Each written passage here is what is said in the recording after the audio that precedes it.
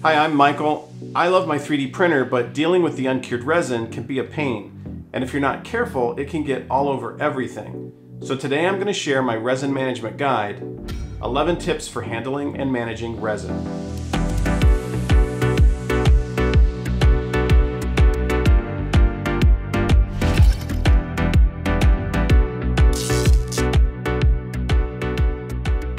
The problem with resin printers is the resin.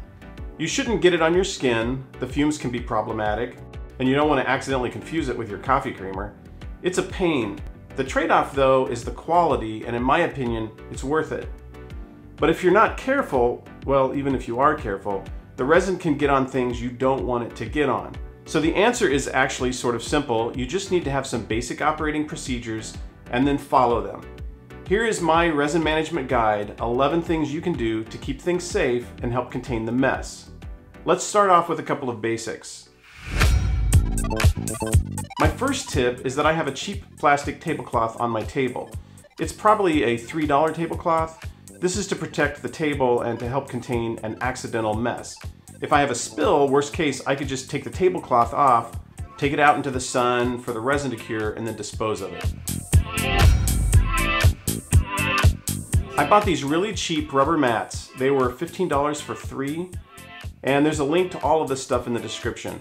But these have a little lip so the liquid stays on the mat. I have one here in the front of the printer so that when I pull out the build plate, I can set it here to remove the part. I also have this one on the side for tools. If I set down anything that's wet with resin, it goes on the mat, not the tablecloth. The goal is to keep resin off the tablecloth and keep it on the mat. To clean these, I spray a little IPA on it and wipe it with a paper towel. The third tip is just to keep your printer station organized. Let me show you how I have mine set up. I do keep an open trash can. When I need to toss something, I don't want to have to open a lid. I might have wet gloves on. Oh, and use a bag for containment and easy cleanup. There are a lot of expendables here. I have a roll of paper towels handy. I also keep a terry cloth towel here as well. I consider this to be disposable, so when it gets too dirty, I'll just toss it. But usually I am only using it to wipe off a glove that's wet with uh, alcohol. I've got some good metal funnels, and of course an ample supply of isopropyl alcohol.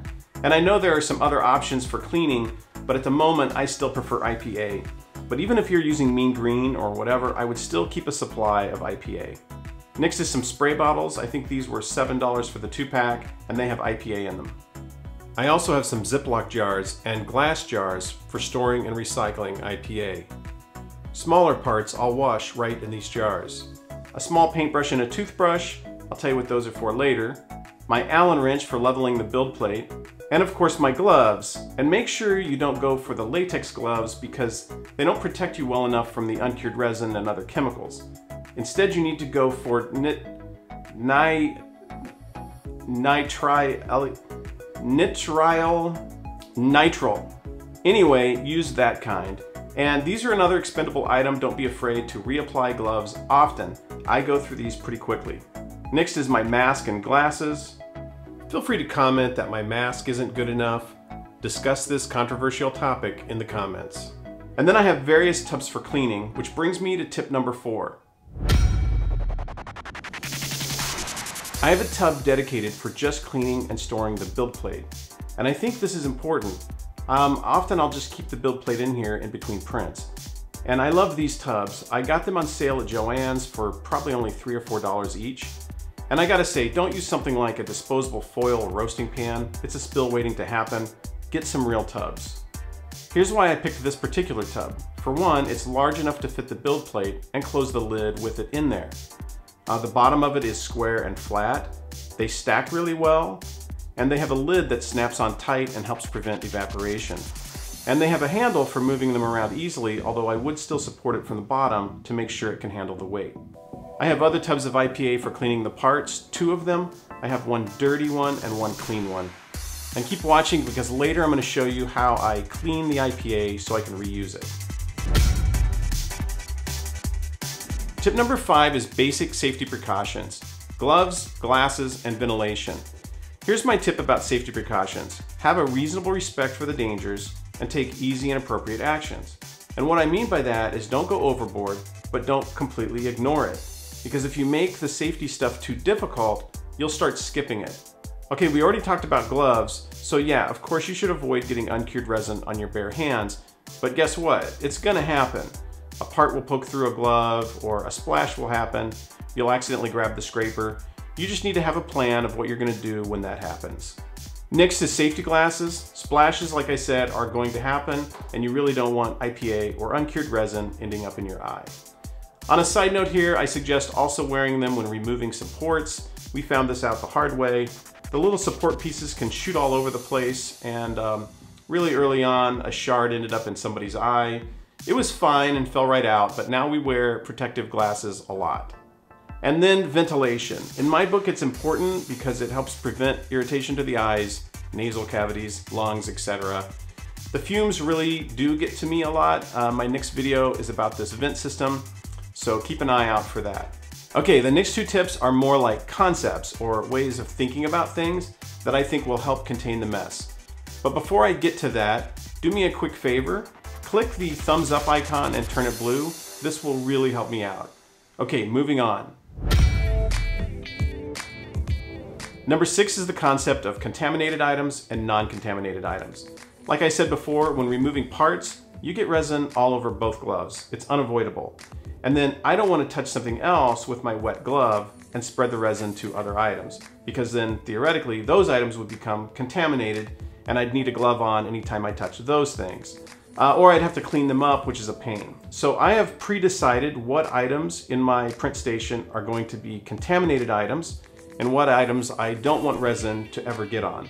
Once I have this list, then I just never touch those items with a wet glove. So what's on the list? Well, for me, it's just about everything. For example, I don't want liquid resin on the printer doors, the outside of the printer, on the lids to my tubs, on the resin containers, the spray bottles, or the box of gloves. In fact, I think resin or alcohol on this red plexiglass in the door will ruin it. I've heard that it can make it crack. And I want my printer to stay nice. I don't even want resin on the outside of my vat, or the underside of it, or any of the thumb screws, and I don't want it on the LCD. So almost everything is on my don't contaminate list. The only things that are on my contaminated list are the build plate, the metal scraper, the funnel, and maybe the toothbrush and of course the mats. The terry cloth towel I don't consider to be contaminated, but I guess it depends on what you wipe on it. The next concept is the idea of high risk and low risk activities. And what I mean by risk is risk of getting resin on your gloves. I'll start with high risk. High risk activities, I wear two gloves, but pretty much the only high risk activity is removing the build plate after printing and then removing the parts from the build plate. That's pretty much it. And when I'm done with the high risk activities, I remove and toss the gloves, even if I'm gonna do something else that's a lower risk next. For low risk activities, I usually have one glove on and one off.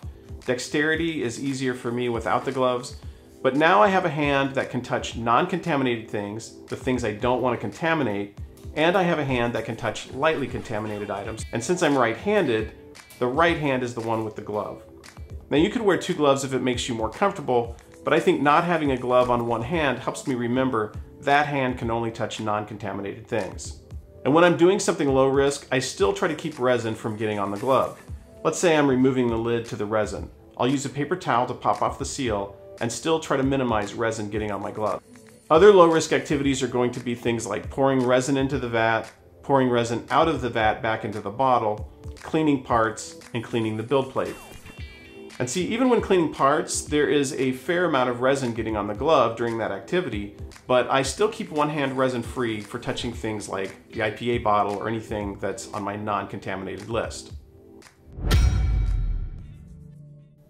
When a print is ready to be removed, I put on my eyewear, mask, and gloves. But here's the tip. While my gloves are still clean, I handle anything that I need to that's on that non-contaminated list and get it all prepped and ready. I open the printer doors, take the lids off the tubs, and loosen the thumb screws.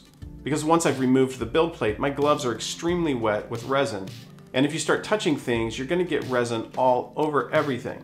So with contaminated gloves, I don't touch the tub lids or open or close the printer door. Instead, prepare that stuff before removing the part.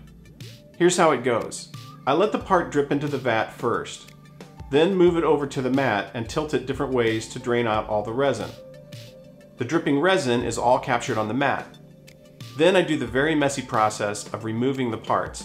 This is always messy, but I try to contain it. The scraper is contaminated, so I can use it with a wet glove. As the parts are freed, I set them in the tub of IPA, which already has an open lid.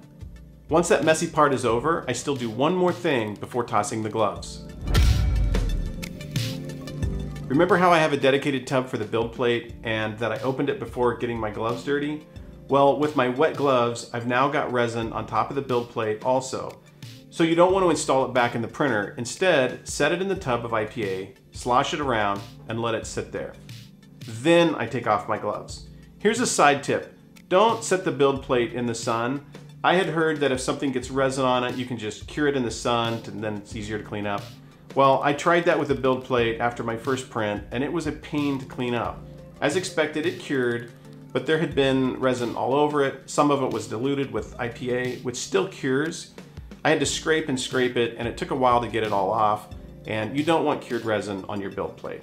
Okay, now later when I'm ready to print again, I pull the build plate out and I'll clean it one more time with the toothbrush to make sure it's free of resin. I'll spray or pour a little more IPA on it to get it really clean then set it on paper towels to dry and wipe it down. You don't want any leftover IPA in those holes when it enters the resin, so make sure that all the IPA has evaporated and that it's dry before reinstalling it in the printer. I prefer my vat to be very clean. I don't want any resin on the outside edge of the vat or the bottom of the FEP because then it would get on the LCD, cure there, and cause failures in your prints. Okay, so in between prints, I will wipe gently over the FEP with the plastic scraper. And what I'm doing here is I'm feeling to see if anything is sticking to the FEP. I'm also clearing any buildup. I don't use anything on the FEP to help prevent sticking. If you do that, you might not want to do this step, but since I don't, before print, I'll add resin, stir it up, and check the FEP. To completely clean it, I first empty as much of the resin as possible back into a bottle. I use a metal funnel with a built-in strainer these work great because they sit right in the bottle and you don't have to hold it. A little sub tip on my printer, the Phrozen Transform, the vat does have one corner that's made to be a pour spout. I didn't notice it at first, but using that corner really helps reduce drips. So I get as much of the resin out as possible. Then I wipe that corner off with a paper towel and set it down on some clean paper towels. Not on a mat because that has resin on it, and I don't want to get resin under the FEP. So next I'll pour a little IPA directly into the vat, and then I use the paintbrush to gently clean the FEP. Get in all the corners and the creases. This makes very dirty IPA, but that's okay. I pour that cocktail out into a jar. Then repeat that one more time. Then I continue cleaning with a spray bottle, wiping with a paper towel, and repeat until it's spotless. My final tip is on how to recycle and sort of purify that super dirty IPA. I keep a lot of these plastic Ziploc jars for dirty IPA. I also have some glass jars. These were from spaghetti sauce. I set the jar out into the sun to cure, leave it out there for a couple hours, then bring it back in to rest. After a day or so, the resin settles in the bottom and forms like a blob. I've heard of people using coffee filters to strain the IPA, but that wastes a lot through evaporation so I bought a non-porous strainer. This tea strainer has a very fine mesh and it fits right on top of my Ziploc container. Strain through this and you have some IPA that's pure enough for the next vat cleaning. I do try to avoid any of this blob getting into the strainer. Get as much of the IPA out as you can. The blob of resin, to dispose of it, I pour it out onto an open container and then take it out into the sun again. The IPA evaporates and the resin cures. Then just toss the blob in the trash. So